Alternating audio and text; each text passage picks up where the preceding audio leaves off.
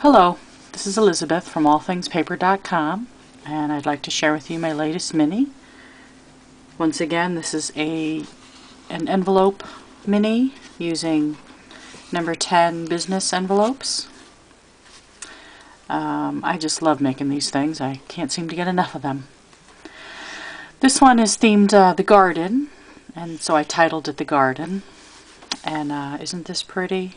I made this all uh, kind of, I don't know, I had this in my head, a white picket fence with flowers growing. And I made these little eggs out of uh, paper clay and painted them. And then this was a nest that I had that I got at the store, but it was way too big. So I had to cut it down, pull it apart, re-glue it. And it came out pretty good. And then I made the little white picket fence. And I don't know if you can see this, but I made it um, crackled.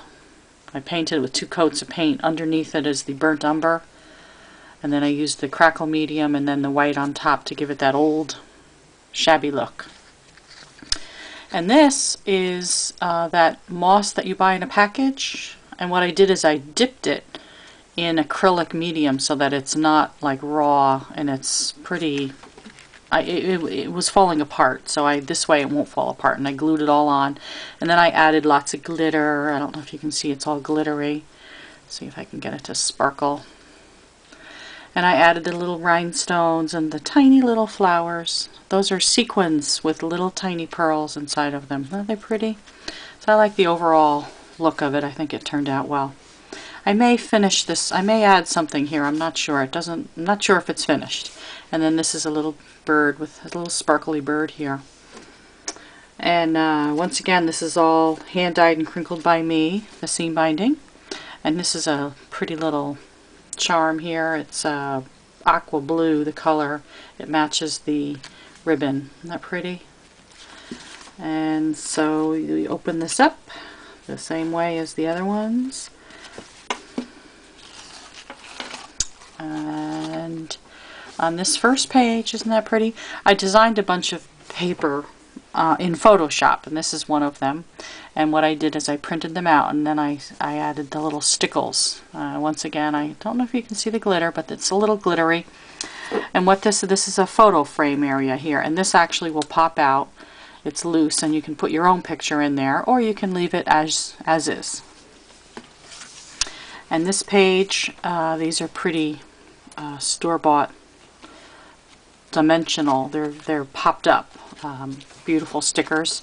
And then this was a uh, I stamped this. It says, if you have a garden and a library, you have everything you need. And I've used this in lots of my artwork because I just love that saying, and I think it's true.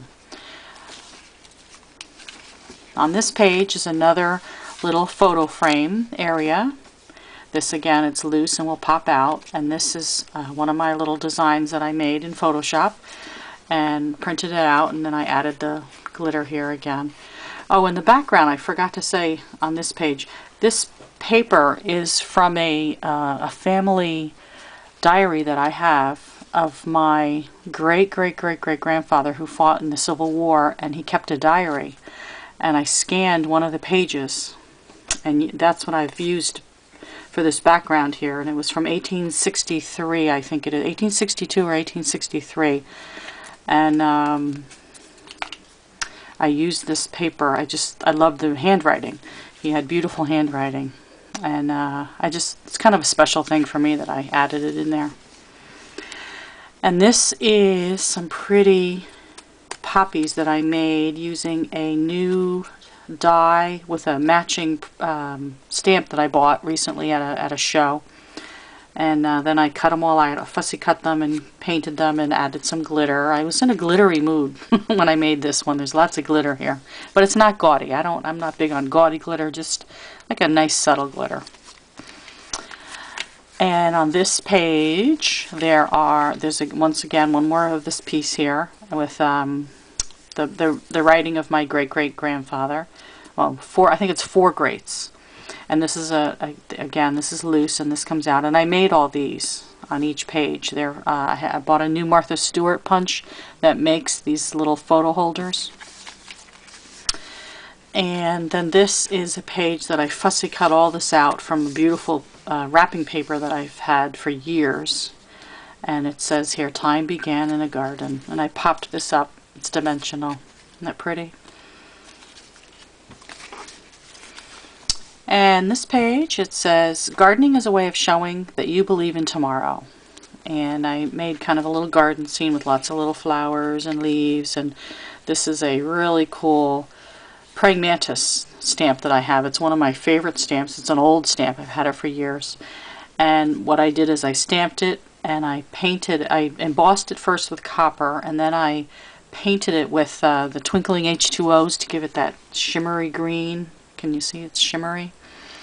And then um, applied that there and I just love it. And I made it kind of gardeny in the background. I stamped stamps and things to make it look kind of like a lush garden. And this page is, I just thought it was so pretty, the paper, so I didn't do too much to it. I stamped this as an old stamp. I love this stamp. It's, I, again, one of my favorites. And then this is a real canceled stamp from Germany. It says here Deutschland. And uh, it, the green flowers, it just struck me that it matched so well, so I used it in here. so it's a real stamp. It's not a uh, copy. And we turn the page. And this is another of the beautiful sunflowers that I fussy cut and added.